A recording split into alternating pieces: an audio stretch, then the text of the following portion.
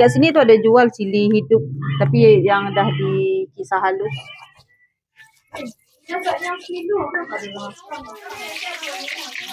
Ni kita masukkan apa ni terung pipit dengan petai belalang. Kita dah siap sarapan. So sekarang kita nak masak guys. Kita nak masak urap pucuk betik. Kita eh apa salah ada daun ketumbar? nak masak urap pucuk betik dengan apa guys? Dengan petai belalang dengan terung pipit. Wah. Hmm, daun ketumbar. Ni boleh buat masak tom yum sedap ya. Ni tanam sendiri dekat apa ni dekat ladang. Sedap. Sedapnya. Dia kalau daun ketumbar ni dia boleh me membangkitkan selera makan. Gitu.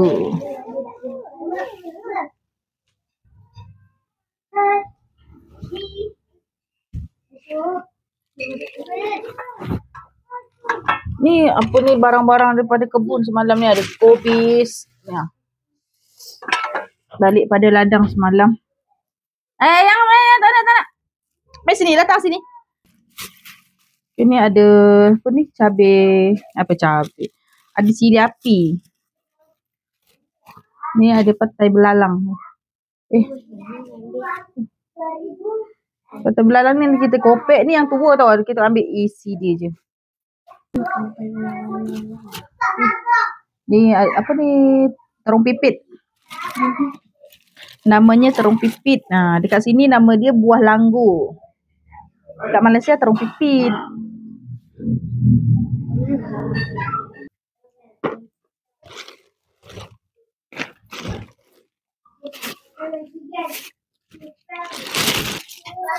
Ni ada pucuk betik. Ni gatom jadi.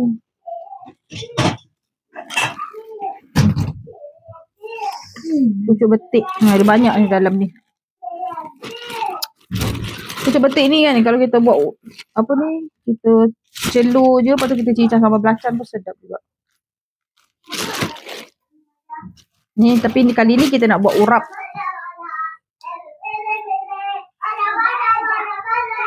Ni petai belalang ni yang tua kita ambil isi dia yang dekat dalam tu. Tu macam tu. Ha tu. Kan ada biji dekat dalam kan. Ha, kita ambil yang tu.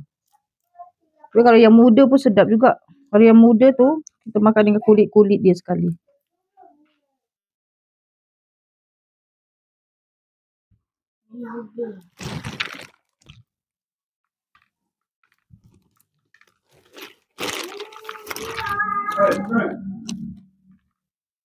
Tunduk.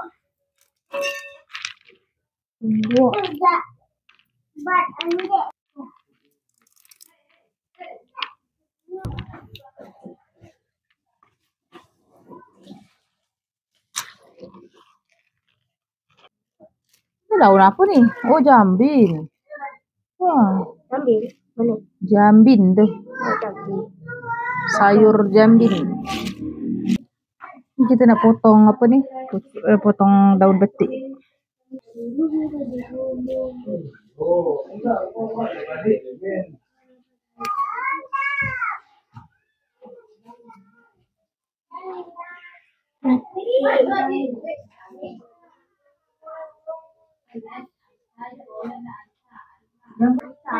Nerja. Enam. Enam. Nerja. Nerja. Nerja. Nerja. Dingin. Dingin.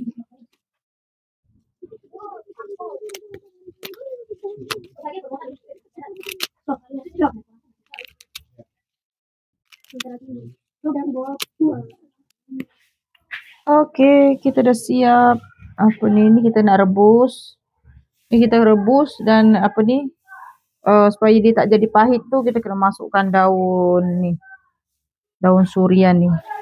Supaya dia tak jadi pahit. Tapi kalau tak terlalu kalau tak ada pahit dia tak sedap juga dia kena ada pahit-pahit dia sikit. Macam tu. Ni kita rebus dulu guys. Ni kita nak buang sampah dulu. supaya bersih. Kita buang sampah-sampah ni dulu.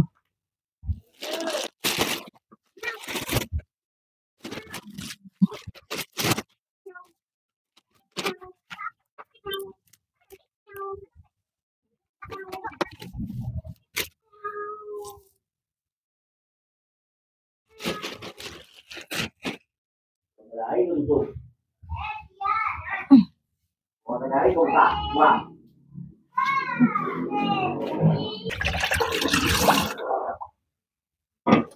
Ni kita nak rebus.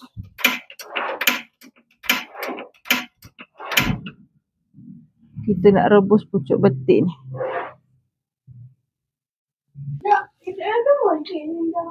Ni untuk asam dia supaya dia tak pahit.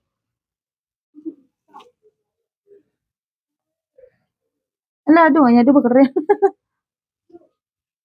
Uyik.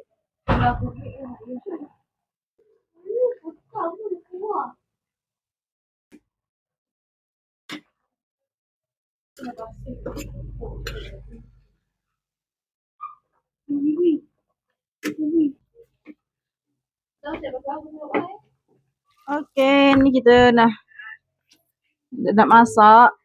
Tadi kita dah beli cili yang dah di blend.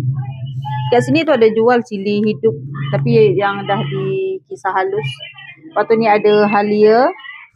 Ni ada kunyit.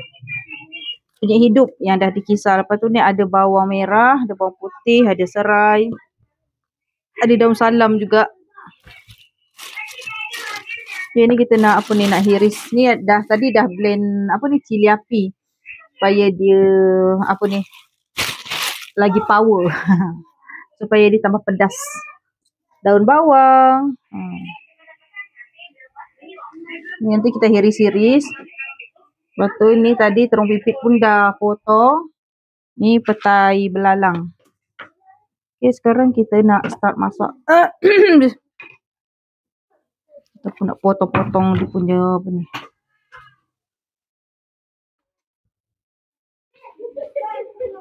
Kita nak hiris dia punya bawang merah. ni kita punya ruang dekat dapur ni dia apa ni agak sempit. Mana lagi Afia? Eh?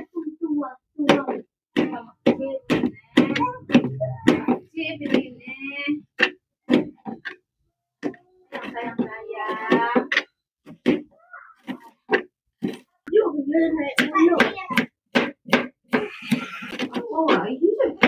abang.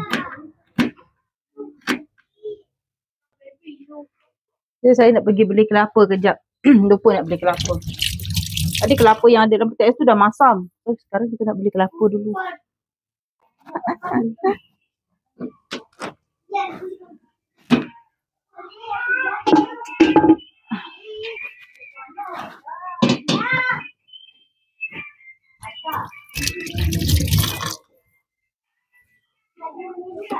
kita nak tumbuk cili dia dulu.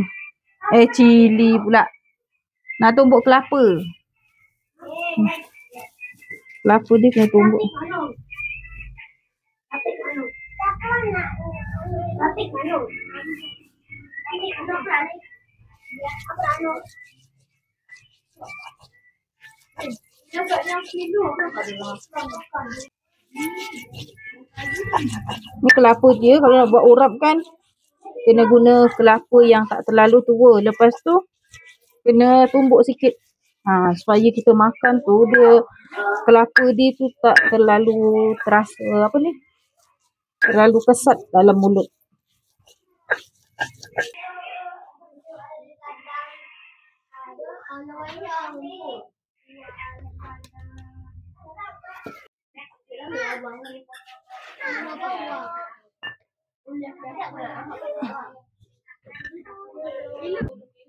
Okay guys, ni kita masukkan bawang merah dan juga bawang putih. Ni kita goreng sampai dia agak-agak sedikit garing macam tu lah.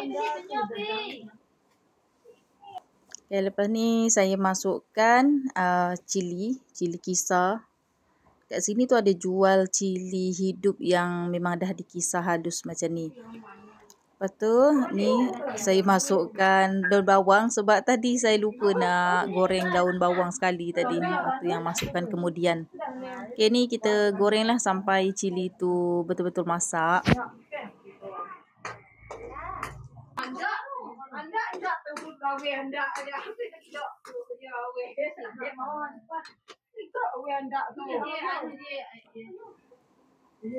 dia Okay guys ni saya tambahkan juga sedikit cili api supaya dia apa ni dia lebih pedas. Ha, sebab cili merah tu dia tak berapa pedas. Jadi ni saya blend cili cili api dan saya tambahkan juga dalam ni. Ni kita masakkan cili ni sampai dia betul-betul masak.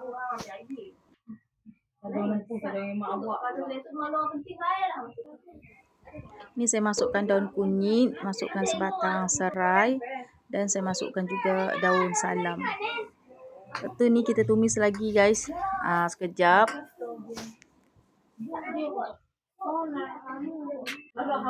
Nah, sementara kita nak tunggu apa ni cili dimasak ni saya sebelah ni tengah goreng apa ni terung pipit tadi saya lupa nak goreng.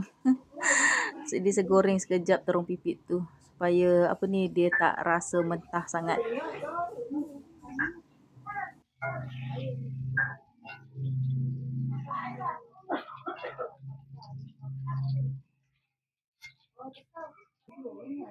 Ni saya juga goreng ayam untuk apa ni untuk ayah dia orang ni dan juga untuk budak-budak yang ramai dekat rumah ni. Sebab budak-budak ni dia tak makan pedas. Jadi saya gorengkan ayam je. Ni apa ni guys uh, saya nak habiskan goreng ayam. Lepas tu ni sebab saya rasa macam cili ni, ni kurang banyak so saya tambahkan je lah semua. Tadi saya beli cili ni 250 gram. Ni saya gunakan semua ni. Apa ni? Ni kita goreng lagi sampai dia masak. Ni nak tambah minyak pun minyak pun dah habis ni. Tinggal sikit je. Tinggal setitik-setitik je lagi. Ya, macam tu lah. Kalau hidup dekat, hidup dekat kampung tu macam tu. Serba kekurangan. Okay guys, ni kita goreng sampai dia betul-betul masak cili ni. Sebab kita baru tambah cili.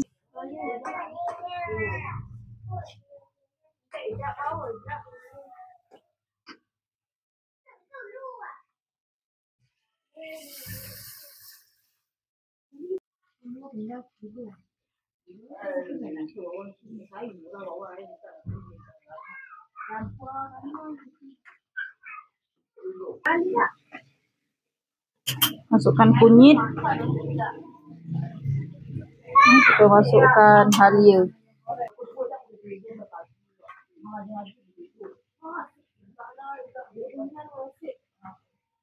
Ini kita masukkan apa ni terung pipit dengan petai belalang.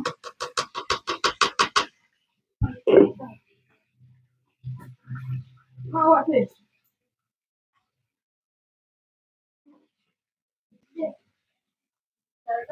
Hmm. Kita masukkan apa ni? Daun betik yang dah direbus tadi. Eh? Jangan, jangan, jangan. Itu, itu, itu, itu, nanti polis datang ambil kau lagi. Hmm. Tadi nanti minta ke ayah ibu tak duit. Ayah tak ada. Ayah ambil air.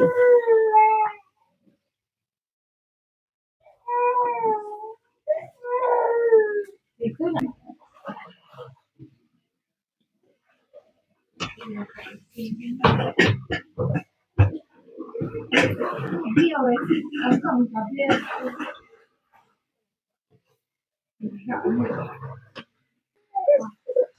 kita apa ni angkat ayam ni.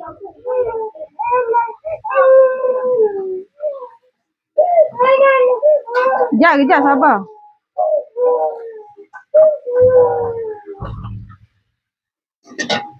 Siap. Tak sapak tu ni. Nah, macam ni lah penampakan kita punya urap dan di ini belum belum kering lagi tau. Ni nak tunggu dia betul-betul kering. Okay guys, sampai sini saja video untuk hari ini. Jangan lupa like, jangan lupa subscribe. Jumpa lagi di next video.